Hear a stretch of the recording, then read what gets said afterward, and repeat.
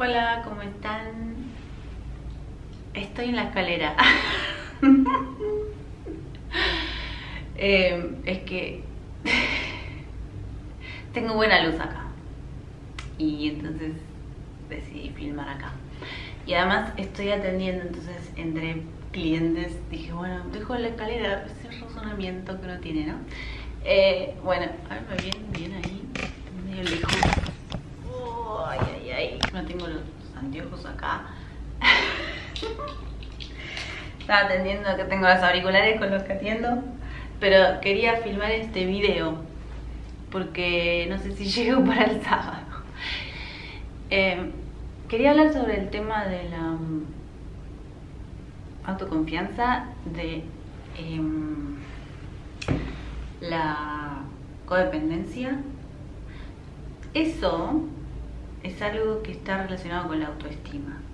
Recibí mensajes de ustedes pidiéndome varios, que uno era sobre la codependencia, otro sobre la autoestima, otro sobre la autoconfianza. Eh, entonces yo creo que está todo junto, eso, está todo relacionado, ¿no? Entonces, lo que yo digo es esto.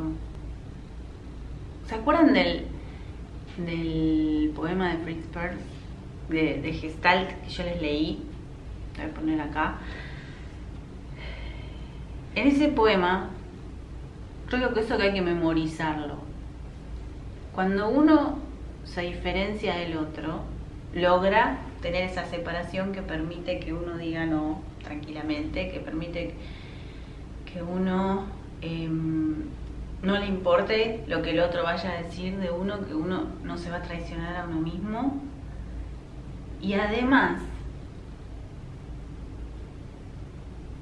saber que esto viene de la familia, ¿no?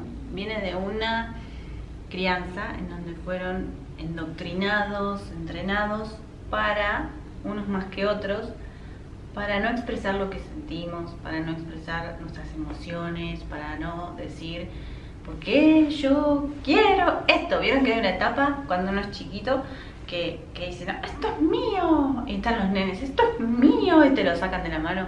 O cuando dicen, no, yo quiero un helado de chocolate y nada más. Bueno, esa etapa es súper importante porque si cuando estuvieron en esa etapa tuvieron padres que les no les permitieron expresarse, eh, también está mucho en la cultura, en la educación, ¿no?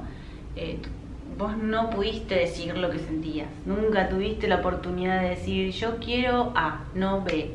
Eso es algo que, que te va a afectar cuando seas adulto y vas a ser mucho más maleable, manejable para tu pareja o para la gente con la que estés en el trabajo, en el día a día. Entonces es importante saber eso, ¿no? Por un lado. Por otro, el, tema de ser auténtico. A partir de que ya somos adultos y podemos mejorar todas esas cosas, ¿no?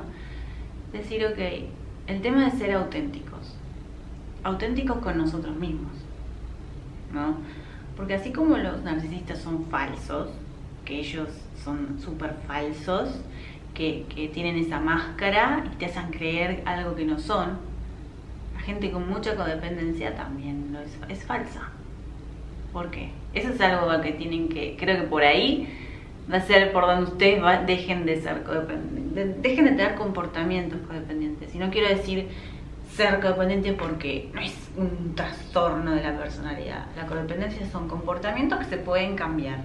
Eso es lo buenísimo. Ustedes pueden con mindfulness, que yo en mi Instagram siempre estoy hablando de mindfulness, porque es parte de la salud. Entonces con mindfulness van a poder ver qué estoy haciendo, qué no estoy haciendo y qué cambio. Entonces, si en el momento ustedes se pescan siendo falsos con ustedes mismos, traicionándose ante una persona con mucha personalidad, muy asertiva, y ustedes no siendo asertivos, es importante que ustedes frenen alto. Estoy siendo falso, me estoy traicionando a mí mismo por el que dirán, por miedo a cómo reaccionen, porque es más fácil, porque no, no me pongo en el ring. ¿Vieron Brené Brown? Es una escritora, es psicóloga, escritora que escribió varios libros y habló sobre la vulnerabilidad. Para ser vulnerable hay que ser valientes. Para dejar de ser codependientes hay que ser valientes y no traicionarse, no ser falso con uno mismo, ¿no? requiere muchísima valentía ser asertivo para alguien que fue entrenado para no serlo, ¿no? ¿Por qué? Porque si fuiste entrenado cada vez que vos eras asertivo, recibías una piña o piña metafórica como, no, no, no, cállate, no, ese no. No, no, no, no, estoy triste. No, no, no, no estás triste, estás cansado, no a dormir. Eh, quiero ir con mis amigas. No, vos lo que sos es que querés dejar de estudiar y sos un vago. Así que no, te cambian lo que vos entiendes. Entonces, ¿qué recibiste cuando eras asertivo de chico? Negatividad, piñas, eh, todo eso, ¿no? Entonces ahora hay que cambiar eso. Ya sos adulto, tomar a tu niño interior, que es el que tiene miedo de esa reacción del otro, y decirle, vamos a ser auténticos, querido niño mío interior. Podemos cambiar estos comportamientos porque no toda la gente reacciona de esta forma y estoy yo como adulto, no voy a permitir que te traten así. Ahora, cuando llega el momento y estás con alguien muy asertivo y vos querés ser asertivo, es cuestión de programarte a pensar que lo vas a hacer, no importa qué. ¿Por qué? Porque tenés tu autoestima de respaldo, porque siempre te tenés vos, siempre te tenés vos. Por eso hay que trabajar la autoestima, ¿no? El valor, la valía tuya que tenés intrínseca, vos tenés valor por estar en este mundo. Saber que sea lo que sea que vos digas, esa es tu opinión y punto. No importa lo que el otro diga. Eh, es como, por ejemplo, acá en YouTube, ¿no? Hay que ser muy valiente porque te dicen de todo. Y vos tenés que decir, mira, yo no estoy acá para gustarle a todo el mundo ni nada, yo estoy acá para hacer algo que si a alguien le sirve, buenísimo. Esto no me importa ni, ni si estoy linda, si estoy fea, si les parece a ustedes que yo, eh, si, si, pasa alguien que es un bully, ¿no? Y, me dice algo feo, la verdad, eh, que me critican, yo, ok, pero no es el punto, es el punto es que ustedes yo sé que escuchan lo que yo digo y que a veces les sirve algo de lo que tanto digo, quizás algo sea útil. Si algo les pareció útil, yo sé que eso es suficiente. Y para mí eso es lo importante, que ustedes lo, nada más, no me importa la reacción del bully, de lo que sea, ¿no? Entonces cuando uno deja esos comportamientos codependientes, em, llega a ese punto de decir, yo sé que lo que estoy diciendo es coherente con lo que siento. Y eso es lo que importa porque está ligado esto que es súper importante, que vos seas coherente con lo que sentís y actúes coherentemente con lo que sentís.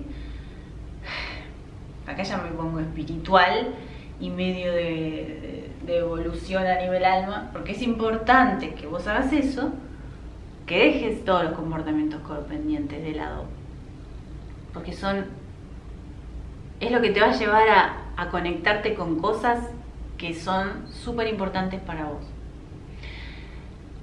Yo no sé, puede ser un trabajo, una persona, una conexión, algo que es lo que vos necesitas hacer. O sea, ponele.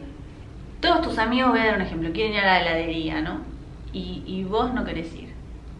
Entonces decís, bueno, no voy, me, me quedo, yo los espero, vuelvan después. Y no, dale, no seas un no sé qué eh, arruinan fiestas. Y vos vas porque no querés, pero después vas sin ganas, qué sé yo. Cuando el otro escenario, escenario B en un mundo alternativo, vos decís, ay no, miren, gracias, que quieren ir, pero la verdad no quiero ir, no, no, no. Les agradezco. Yo los espero y cuando vengo, vengan, estamos de nuevo juntos. Bueno, un ejemplo cualquiera estoy diciendo, ¿no?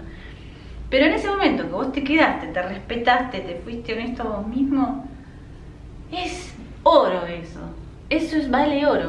Porque vos te estás respetando, no estás siendo inauténtico, o sea, no auténtico, no estás siendo eh, em, falso. ¿eh? Y estás a la vez siendo vulnerable, pero de una forma súper valiente. ¿Se entiende? Que sos. ¿Por qué? Porque estás diciéndole que no a un montón de gente. Y vos qué haces, te quedaste y se dio que justo leíste un párrafo de un libro por mientras te quedabas esperando a tus amigos porque no querías ir a la heladería que después se te prendió la lamparita para una idea, que después creaste algo que ayudó al vecino. ¿Entienden por qué es súper importante que ustedes sean auténticos con ustedes mismos?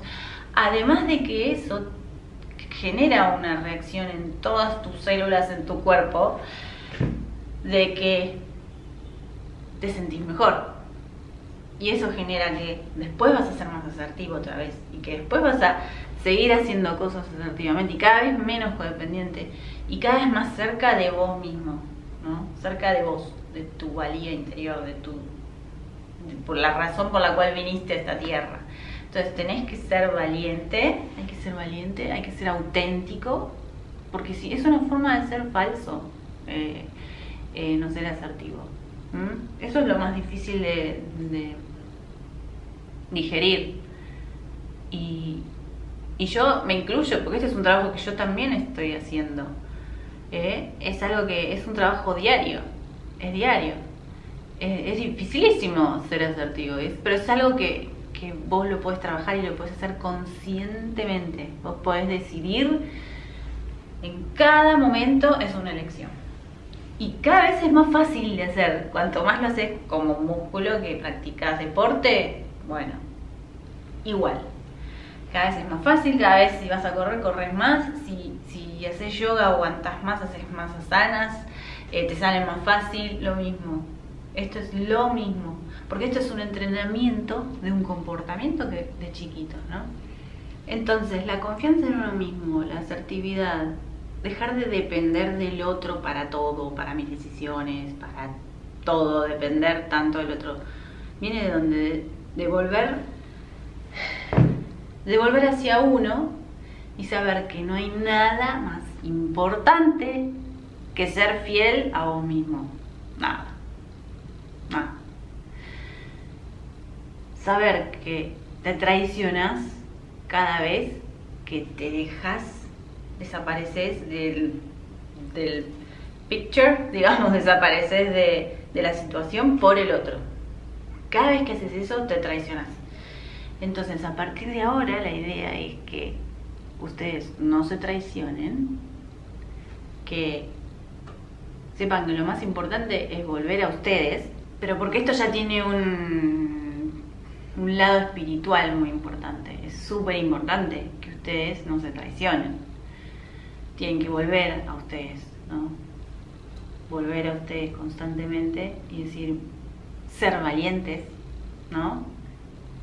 Porque como dice Brené Brown, la vulnerabilidad de decir un no frente a gente, decir eh, yo quiero esto y es súper distinto a lo que los demás quieren, o es algo que estás, que es distinto a lo que te pidieron, esa vulnerabilidad que todos trabajamos a diario, es lo que te hace súper valiente. La vulnerabilidad de estar en el ring, ¿no? De estar en el ring, estás ahí en la pelea. ¿Eh?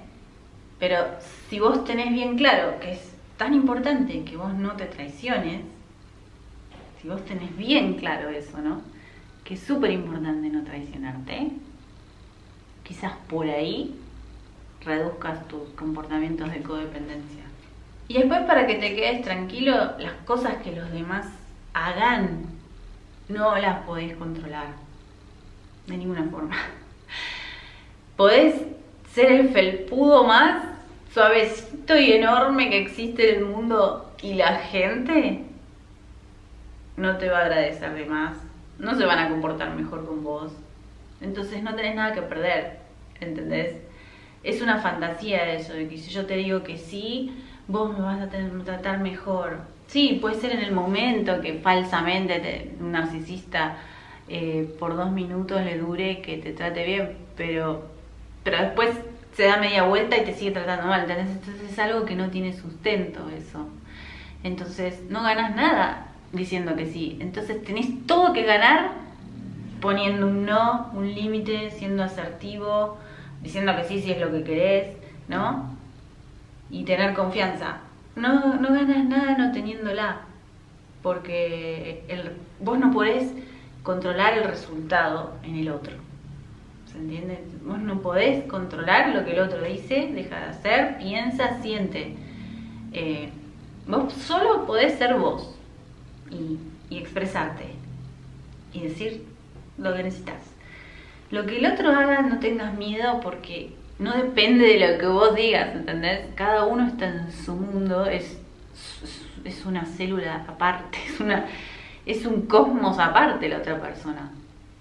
Entonces quizás es tu fantasía también la que está en juego de decir, ay, si yo soy, digo todo que sí y hago todo lo que quieren, entonces eh, voy a ser más aceptado, me van a querer más. No, lamentablemente no. Por suerte no es así, si no seríamos todos un calco, nadie tendría personalidad. Eso no, seríamos todos así y es lo más triste que hay eso, ¿no? Como que nadie es, somos todos calcos, no y, no es lo que ustedes son en realidad. Eso es una consecuencia automática que tienen porque fueron entrenados, aunque cada vez que se asomaban les hacían ¡puc! para abajo. Cada vez que se asomaban, vieron esos jueguitos que son así de tac, tac, tac, tac, tac, salen los cositos y les van pegando. Bueno, cada vez que ustedes quizás decían algo en contra del, del mayor presente en ese momento, qué sé yo, eran para abajo ¿no? Tirados abajo. No, no estás triste, no, tenés hambre, lo que te pasa es esto, ¿viste? Es entonces eh, entendieron rápidamente que para ser aceptados y queridos, una forma de apego, para pegarnos a nuestros padres, hacemos muchas cosas. Entre estas es de codependencia. Sabemos que si tenemos padres más narcisistas, es probable que los hijos sean codependientes porque están, como dije en otros videos, ¿no? Aplanado justamente, salís, ¡puc!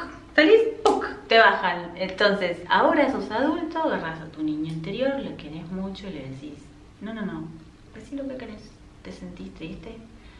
Si no saben lo que sienten, hagan emociones diarias, un registro de emociones diarias. ¿Qué siento? ¿Qué no siento? Porque eso también es práctica, estar en contacto con uno mismo. Hagan yoga, siempre insisto, eso te lleva a vos lleva a vos. Es una meditación en un ejercicio físico y para recuperarse del estrés postraumático se necesita ejercicio físico y meditar.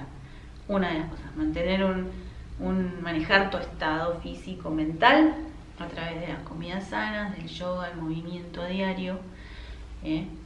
em, todas esas cosas que necesitan. ¿Por qué? Para volver a vos, para estar en el presente, para mantenerte sano, para estar calmo y saber qué te pasa, qué no querés, qué querés, ¿no? Después, trabajar la autoestima es quererse uno mismo, pero desde el valor intrínseco que tenemos todos, ¿no?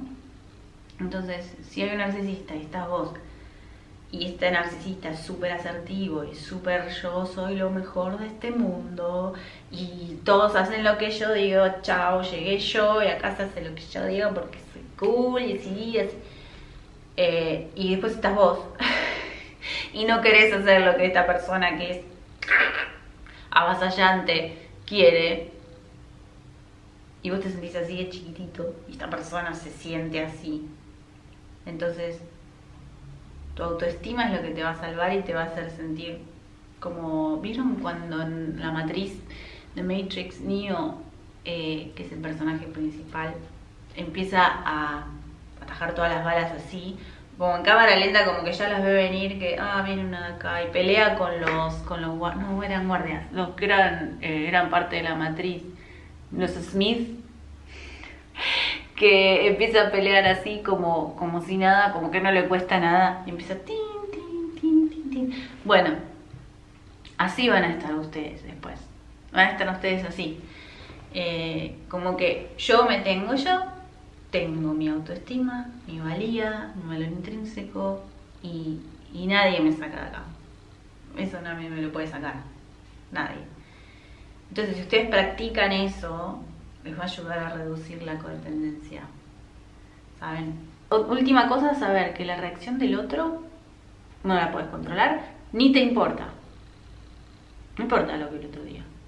Porque las personas que valen la pena que se van a quedar con vos son aquellas que van a tomar tus límites, que van a tener cosas en común con vos. Quizás descubras que esta persona también le gusta lo que vos decís y está súper de acuerdo. Empiecen a practicar, van a ver que se van a sorprender de que la gente, hay mucha gente sana por ahí que te dice, ah, sí, tenés razón, me parece que voy a hacer eso mejor. Tenés razón, gracias por decirlo. Quizás incluso es mejor para la otra persona también, ¿entendés? Ser asertivo, que vos seas asertivo. Es súper necesario que ustedes sean asertivos porque ustedes son las personas que, son más empáticas, que tienen, que sienten mucho. Es súper importante que ustedes se hagan cada vez más asertivos, ¿eh? Bueno, espero que les haya servido este video y nos vemos la semana que viene. Gracias, chao.